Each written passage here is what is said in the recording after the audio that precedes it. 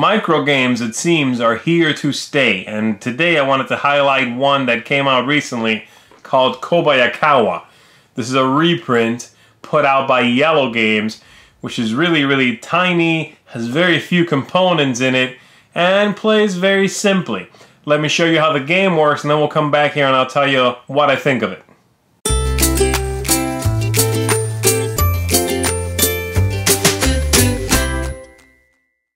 The game comes with very few components. You have a bunch of these tokens here.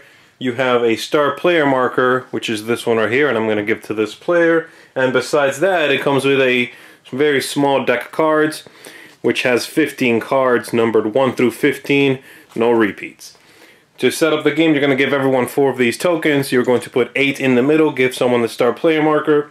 You're going to shuffle up, give everybody a card, put the deck in the center and flip one over. The way the game works is on your turn, you are going to take a look at your card and you're going to have one of two choices. You can either draw another card, take a look at both, and then keep one, discard the other face up in front of you, or you're going to flip a new card over to cover this one up.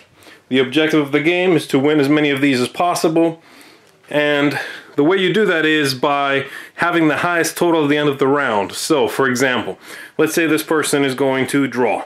They're going to look at both. Let's say they want to keep the 8. Then this person's going to look at their card. They are going to flip a new card into the center because they like their 14, and I'll explain why in a second. And then this person will look at this, and they will draw, and they will discard. Now, starting from the start player again, everyone has to decide whether they are in, meaning they are going to basically bet on the fact that they can win the, the round, or they are out and they do not risk one of these tokens. So for the sake of the example here, let's say everyone's in.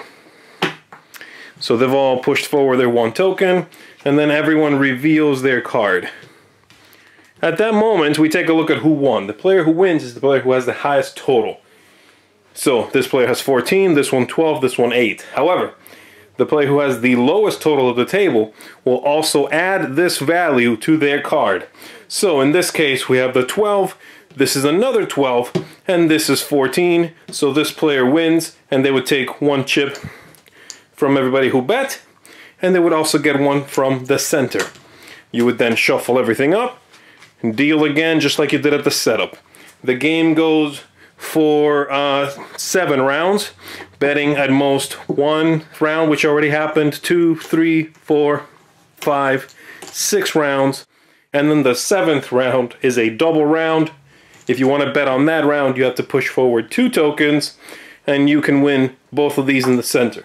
Once that round is over, whoever has the most of these tokens is the winner, and that's uh, that's the whole thing. It's very simple. Kobayakawa, for such a slight game, really does quite a lot, I think. I love that it's just 15 cards, numbered, no text, a few tokens, and yet the game gives me this feeling of push your luck meets sort of pokerish gameplay, this gambling, this, and it's all quick and simple and just works well. I've played the game with non gamers and have had great success.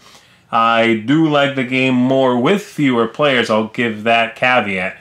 Because I'm not sure I like the idea of there being so much information revealed. I like a little bit of information revealed, but having almost every card face up out there robs the game of a little bit of that push your luck. Is, is my 11 enough? Is my 12 enough? So I like that. I like not being able to puzzle it all out, but there being risk and reward in it. The game uh, plays very quickly.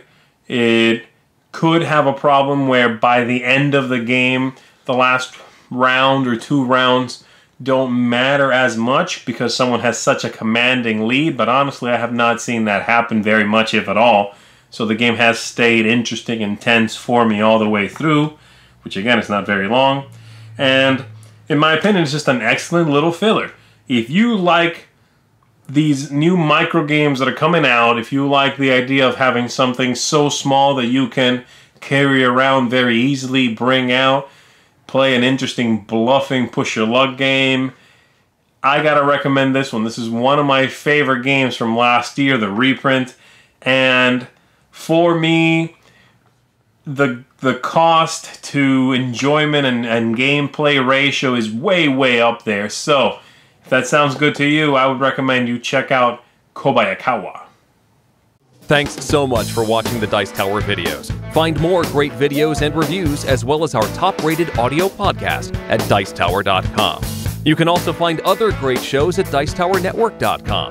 I'm Eric Summerer, and you've been watching The Dice Tower. The Dice Tower is sponsored by Cool Stuff Inc., where you can find great games for great prices. Cool stuff in stock. Check them out at CoolStuffInc.com.